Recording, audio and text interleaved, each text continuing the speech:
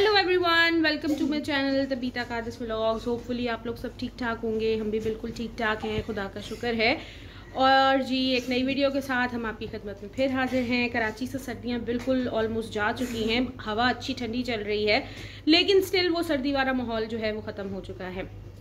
और सर्दियों का जो बेस्ट चीज़ होती है, वो होती है साग। और जो साग है, वो हमने इस दफ़ा नहीं बनाया है, लेकिन इस दफ़ा मैंने सोचा था कि साग जो है, वो मिट्टी की हांडी में ही मैंने बनाना है। तो मैंने उसके लिए मिट्टी की हांडी परचेज़ की थी। और बात यह है कि आपको सबको जैसे पता है कि मिट्टी की हांडी को हम ख़रीदते के साथ ही उसमें कुछ नहीं पका सकते, उसका कुछ प्रोसीजर होता है जो करना पड़ता है। उसके बाद जो है वो मिट्टी की हांडी को आप प्रॉपरली खाना पकाने वगैरह के लिए यूज़ कर सकते हैं। इसके साथ ही मैंने घर की एक दो और ऑर्गेनाइज़र्स वगैरह मंगाए थे शू ऑर्गेनाइज़र्स वगैरह मंगाए थे तो वो भी मैं आपको दिखाऊँगी कि वो हमने कहाँ सेट किए हैं और किस तरीके से सेट किए हैं। तो बस आज मैं उस मिट्टी की हांडी का जो भी प्रोसीजर होगा, वो आपके साथ शेयर करने वाली हूँ और उसके बाद हम उसमें क्या करेंगे, वो आपको दिखाने वाली हूँ। और अपने शू ऑर्गेनाइज़र्स जो मैंने मंगवाए थे, वो भी आपको दिखाने वाली हूँ। तो चले चलते हैं और देखते हैं। अच्छा जी तो दिस इज़ द मिट्टी की हांडी जो जो मैंने ख़रीदी है। और वैसे जब पहली दफ़ा मिट्टी की हांडी में आप कोई चीज़ बनाते हैं तो मोस्टली लोग कहते हैं कि इसको ओवरनाइट जी बारह घंटे के लिए आप पानी में भिगो दें और फिर उसके बाद इसको इस्तेमाल करें या इसमें ऑयल लगाएँ पूरा और फिर इसको इस्तेमाल करें। तो मोस्टली उसके बाद वजूद हांडियों में क्रैक आ जाते हैं। लेकिन आज हम इसमें सबसे पहले दूध बॉईल करेंगे और फिर उसके बाद इसको यूज़ करना शुरू करेंगे और ऐसा करने से जो है वो मिट्टी की हांडी क्रैक नहीं होती। तो अभी मैं इसमें धो लिया है, मैंने इसको साफ़ कर लिया है। अब मैं बस इसके अंदर दूध बॉईल करने लगी हूँ और फिर इसको चूल्हे पे चढ़ाती हूँ। इसमें डालने लगी हूँ दूध और फिर मैं इसे करूँगी बॉयल तो चलो इसमें डालते हैं दूध और फिर करते हैं इसको बॉयल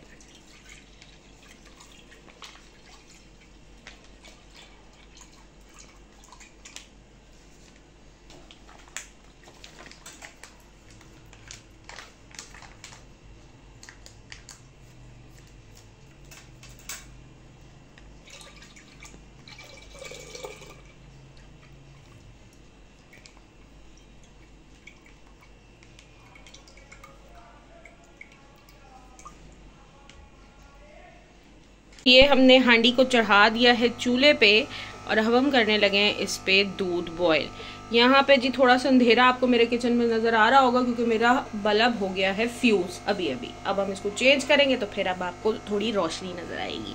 तो चलो वेट करते हैं बस दूध के बॉयल होने का. हमारा शू एक टूटा है तो ये कुछ हमारे शूज़ का हाल है। और ये बच्चे जो है ना सीधा करके इसको रखते ही नहीं है। उल्टा सीधा इन्होंने किया होता है। ये कुछ शूज़ का हाल है।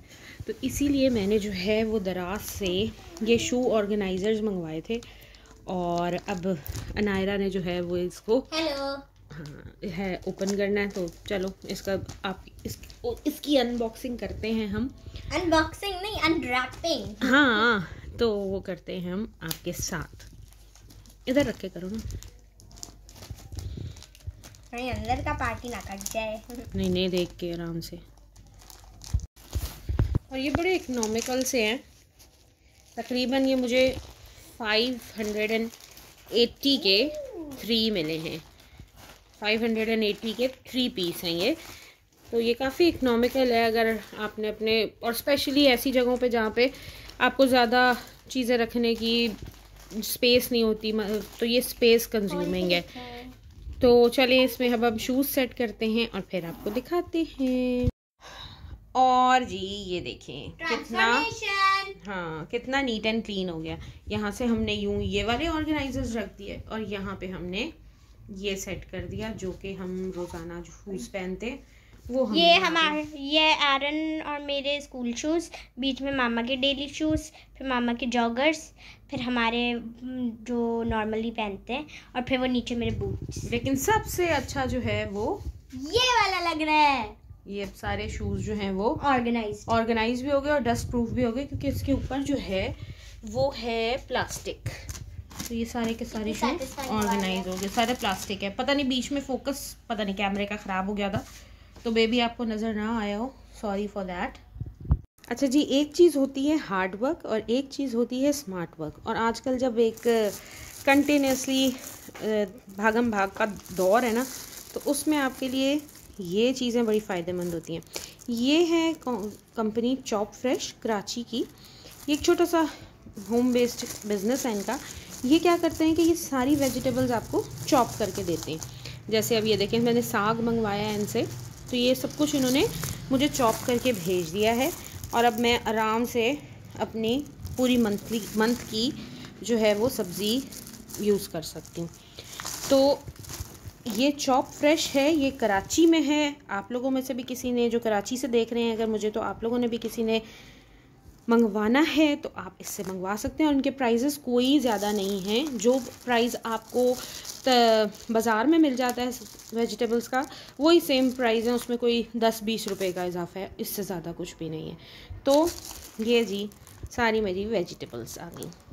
अच्छा मैंने सोचा कि अब जो हम इसमें बॉईल कर ही रहे हैं इतना सारा दूध तो इसको ज़ाया करने के बजाय इसकी हम बना लेते हैं खीर। तो इस वक्त मैं डालने लगी हूँ खीर के इन, इस उबलते हुए दूध के अंदर इलायची के दाने। तो फिर मैं बना लूँगी इसकी खीर। यहाँ पे मैंने थोड़े से चावल रख दिए हैं सोक करने के लिए। अब इनको मैं अपने ग्राइंडर में पीस लूँगी और फिर उसके बाद इसको भी दूध में मिला दूँगी। अभी ये थोड़े से और थोड़ी देर सोक हो जाएँ, फिर मैं इसको भी पीस के तो ग्राइंडर में मिला लूँगी।